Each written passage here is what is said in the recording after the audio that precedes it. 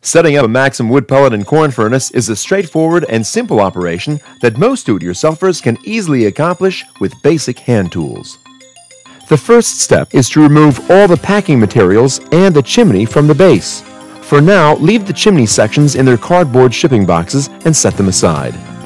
Next, unbolt the chimney base and remove all four furnace holds from the pallet, and remove the rear chimney shipping cover from the Maxim. Also remove the cleaning rods and the parts box from the Maxim burn chamber.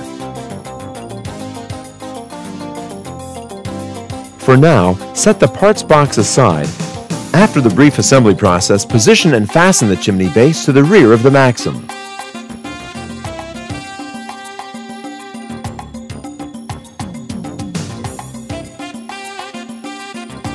Next, open the hopper cover and install the chimney retaining bracket.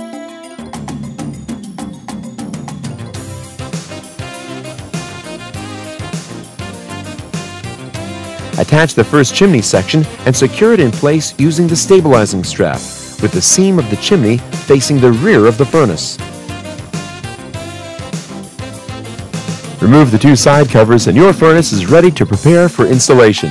The parts and pieces to be installed will depend on your particular heating system. All existing port covers must be removed and any unused supply and return lines must be capped. At this point, install all necessary fittings, valves, and circulators. The circulator size for your application may differ from the one shown here depending on the size and type of heating system you use inside your home or building.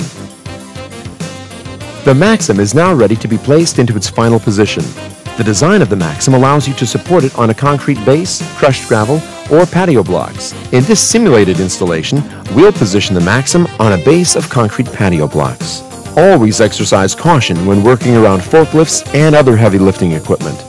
Prior to moving the Maxim into place, you should have installed and prepared the water lines which will circulate the water between the Maxim and your home heating system. These lines will connect your pellet burner through the bottom floor of the Maxim. To ensure proper grounding of the furnace, install and connect the supplied grounding rod kit. Be certain to have a certified electrician connect the Maxim's AC power supply. The use of a 12-2 underground wire with a 15 amp breaker is required. Consult local electrical codes for additional information. Next, hook up the supply and return lines. Be sure to slide the PEX tubing as far onto the PEX adapter as possible before tightening the clamp. Once the water lines are connected, position the chimney cap onto the second section of the chimney. Attach that section to the top of the first section and, for a nicer appearance, line up the seams in back of the furnace.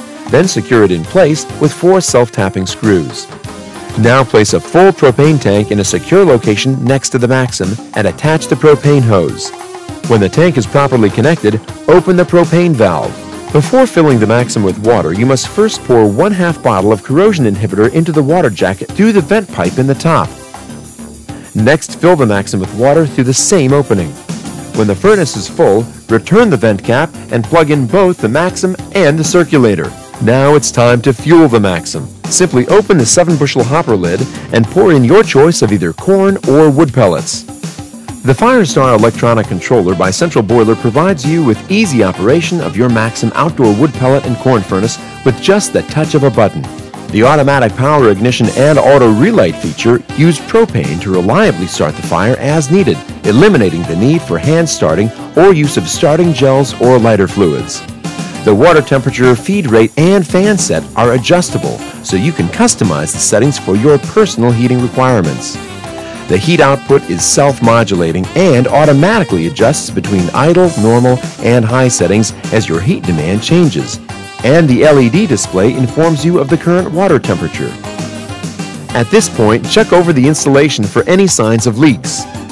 To prevent damage to internal parts by rodents, block access holes with Quikrete or pea rock. Use silicone caulk to fill unused access holes and slide metal plates down to cover shipping slots. Reattach the rear side panels and enjoy the warmth, comfort, and energy savings provided by your Maxim wood pellet and corn furnace.